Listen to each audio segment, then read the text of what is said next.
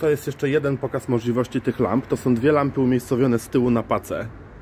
To jest po prostu dzień w środku nocy. No myślę, że jest to naprawdę rewelacja.